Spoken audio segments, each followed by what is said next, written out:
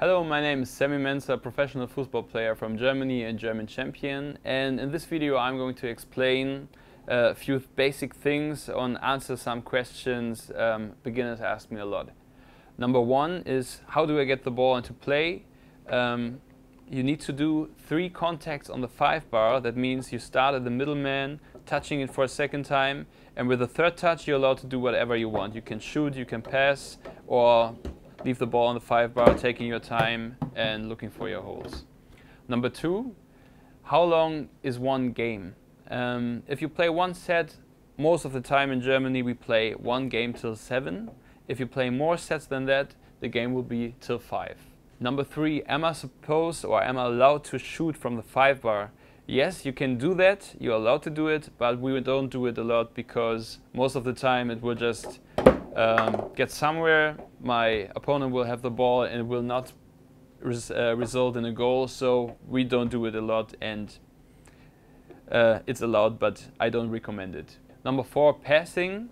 Um, you're not allowed to play a lying ball like this because it would be too easy. You need to um, keep the ball moving and the last player who controlled the ball is not allowed to pass. So it needs to come from another player and afterwards you can pass the ball just like that.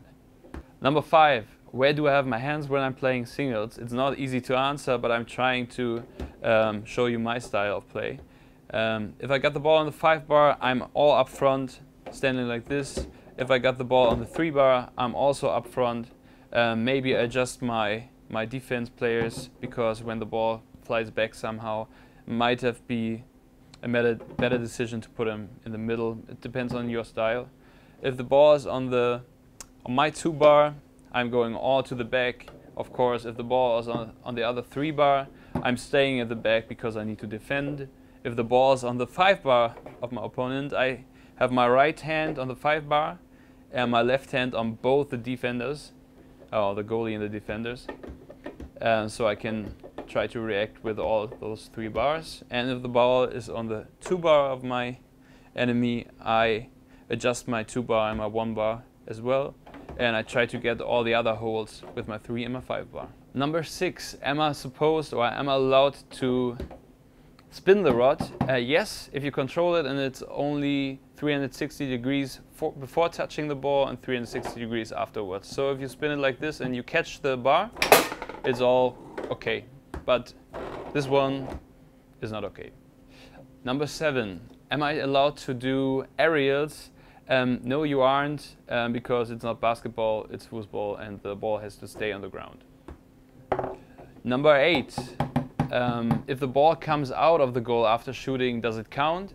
Yes, it counts. It's like in regular soccer.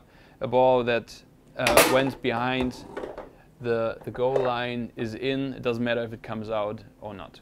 Number nine, how much time do I have on my bars? On my five bar, I've got 10 seconds to bring the ball to another bar. On my three bar, I've got 15 seconds, and on my two bar, I've got 15 seconds as well. Um, if I touch another bar, the time will um, repeat. Number 10, how am I supposed to defend those fast snake shots? Uh, is it possible? Yes, it is. I'm going to show you how, or I try to explain you how, because it's hard to show.